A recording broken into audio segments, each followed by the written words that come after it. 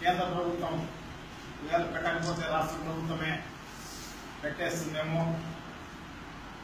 అది కూడా పదివేల కోట్ల ఇరవై వేల కోట్ల రూపాయలు బడ్జెట్ కేటాయించి భూమి పూజ కూడా చేసేస్తాడేమో అని చెప్పేది అనుకుంటుండవచ్చు కానీ తుస్సుమని తుస్సుమనిచ్చే కార్యక్రమం చేయడం అదేదో వాట్సాప్లో పెట్టాను ఒక ఆమెకు అరగుండు తీసి మళ్ళీ ఎన్నికైతే మళ్ళీ ఎన్నికైతే మిగతా గుండు కంప్లీట్ చేస్తామని చెప్పి. ఇరవై ఐదు సీట్లు ఇస్తే ఎలక్షన్ తర్వాత ఆయన ఫ్యాక్టరీ పెట్టే కార్యక్రమం చేస్తాం. ఇప్పటికే దాదాపు పదహారు సీట్లు ఉన్నాయి. మా వాళ్ళు కలిపి మూడు మూడు మూడు కలిపితే పంతొమ్మిది సీట్లు ఉన్నాయి. ఇరవై ఐదుకు పంతొమ్మిది సీట్లు అంటే ఇంకా బ్యాలెన్స్ ఉండేది ఆరు సీట్లు. పంతొమ్మిది సీట్లకు సాధించలేమని నువ్వు ఇరవై ఐదు సీట్లకు వస్తే నువ్వేం చేస్తావు? ఈ రకంగానే నువ్వు ఎన్నికల్లో మేనిఫెస్టోలో అనేక రకాలైన వాగ్దాన వేల హామీలు ఇచ్చి ప్రజలందరినీ కూడా మభ్యపెట్టి ఎందుకంటే బడ్జెట్ సహకరించలేని పరిస్థితుల్లో నీకు నలభై ఏళ్ళ ఎక్స్పీరియన్స్ ఉంది. ఈ ఎక్స్పీరియన్స్లో ఈ ఆంధ్ర రాష్ట్రాన్ని ఉద్ధరిస్తావు అని చెప్పేసి ప్రజలు నీ వైపు కొంత మొగ్గి చూపించడం వల్ల ముఖ్యమంత్రి కావడం జరిగింది. వాళ్ళ ఆశలను అడియాసలు చేసి ఈ ఆంధ్ర రాష్ట్ర ప్రజలను నిజంగా కూడా నిత్య నిలువున మోసం చేసి ఒక్క వాగ్దానాన్ని కూడా అమలు చేయకపోగా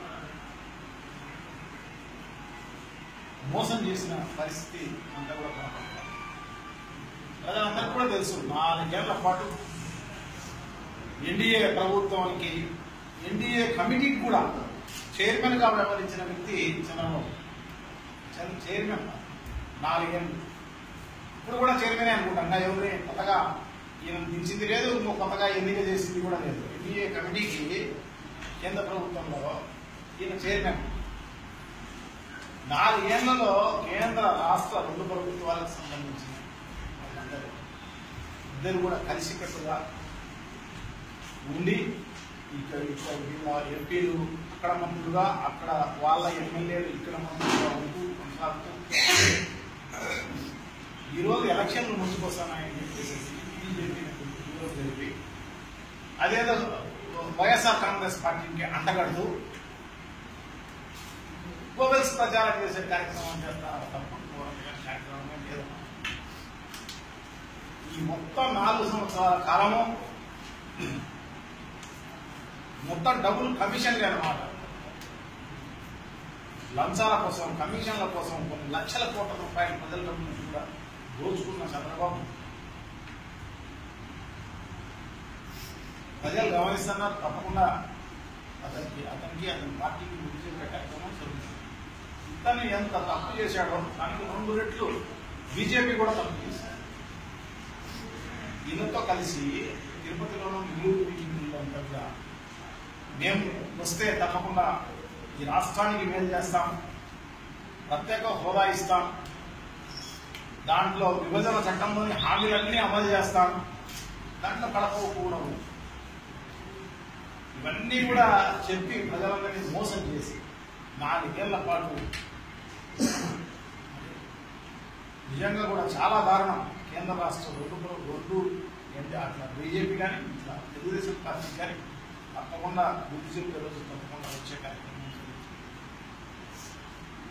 ఈ దీక్ష అయితే మాత్రం కొన్ని కోట్ల రూపాయలు. అది కూడా ఎందుకంటే చిత్తశుద్ధి లేని నిరాహార దీక్ష కాబట్టి. సో ప్రజలు ఎవరు కూడా హర్షించరు ఎవరు కూడా స్పందించలేదు స్పందించని నిరాహార దీక్షకు దొంగ దీక్షకు దొంగ దీక్షకు తుక్కు దీక్షకు వాళ్ళ ఎంపీ చెప్పినట్టుగానే. తుక్కు దీక్ష కాదు తుక్కు దీక్ష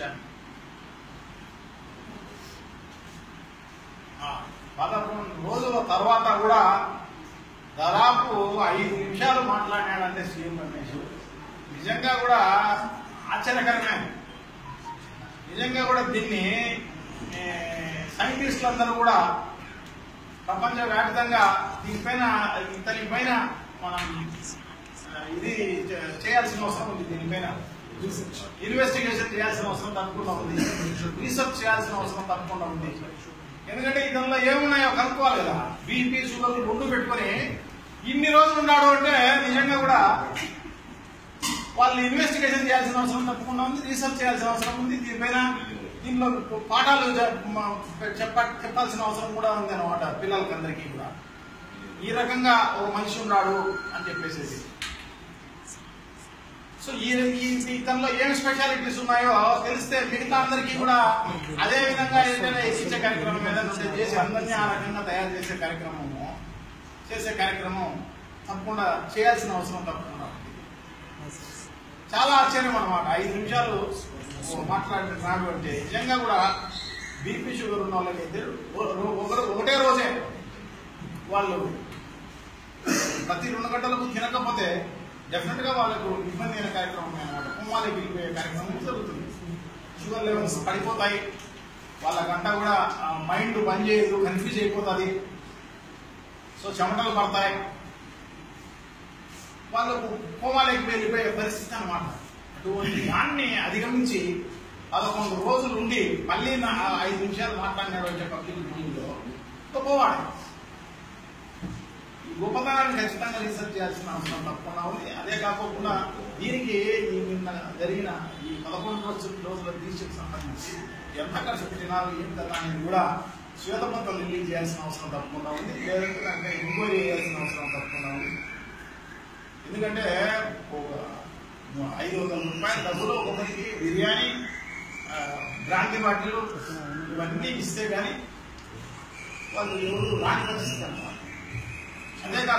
అధికారులు కూడా నిజంగా కూడా అధికారులు చాలా పరంగా నిజంగా చాలా దారుణం అన్నమాట ఎందుకంటే గతంలో చంద్రబాబు నాయుడు కానీ మంత్రులు కానీ వచ్చినప్పుడు డాక్రా మహిళలు మాత్రమే ఉపయోగించుకునేవారు. ఇప్పుడు మామూలు ఉద్యోగస్తులను కూడా ఏ డిపార్ట్మెంట్లో కూడా ఈ పదకొండు రోజులు పనిచేసి కాపడమే లేదు. అందరూ మొత్తం అంతా కూడా ఈడ టీచర్ దగ్గర కుమ్మని చెప్పేసి కలెక్టర్ గారే స్వయంగా చెప్పే కార్యక్రమం చేస్తానంటే నిజంగా ఎంత దారుణం అండి. ప్రజాస్వామ్యమా ఇది ఏంటిది? అతను ఏమన్నా తెలుగుదేశం పార్టీ నాయకుడా లేకపోతే ఏమన్నా జిల్లా నాయకుడా లేకపోతే రాష్ట్ర నాయకుడా ఏంది కలెక్టరా? కాదా? నిజంగా చాలా దారుణం అన్నమాట. ఇంత దారుణంగా వ్యవహరించిన కలెక్టర్లను నేను ఎప్పుడు కూడా చూసినాను. వాళ్ళ ఇన్వాల్వ్మెంట్ చాలా తక్కువ ఉంటుంది.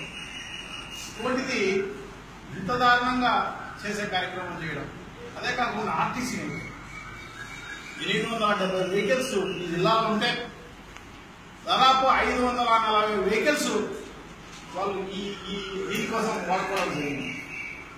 అదే కాకుండా ఎంఈ ఇన్స్పెక్టర్లు అందరూ కూడా జిల్లా వ్యాపితంగా ఎక్కడ పడితే అక్కడ ప్రైవేటు వెహికల్స్ ఏమన్నా కనపడండి. అవన్నీ కూడా ఓనర్తో కూడా పనిలే. అవన్నీ కూడా తీసేసుకొని ఏముంటారు రేపు సీఎం మీటింగ్ ఉంది. ఎంత దారుణం. ఏమి రౌడీజం ఏమి కథ ఏంటి? ఇదంతా. చాలా దారుణం. చాలా. నిజంగా ఎంత దారుణంగా ప్రభుత్వాన్ని ఉపయోగించుకుని దుర్వినియోగం చేయడం అనేది చాలా దారుణం. తప్పకుండా ప్రజలందరూ కూడా గమనిస్తూనే ఉన్నారు.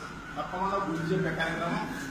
తెలుగుదేశం పార్టీకి చంద్రబాబు నాయుడుకు బీజేపీకి నరేంద్ర మోడీ గారికి తప్పకుండా బుద్ధి యొక్క కార్యక్రమం తప్పకుండా జరుగుతుంది అని చెప్పేసి నేనైతే భావిస్తాను ఏదేమైతే నేను వైఎస్ఆర్ కాంగ్రెస్ పార్టీ మిగతా ఏ పార్టీలు తోడుంటాయో ఆ పార్టీలు అందరినీ కలుపుకొని పోయి పెద్ద ఎత్తున ఉద్యమాలు చేసే కార్యక్రమం తప్పకుండా జరుగుతుంది.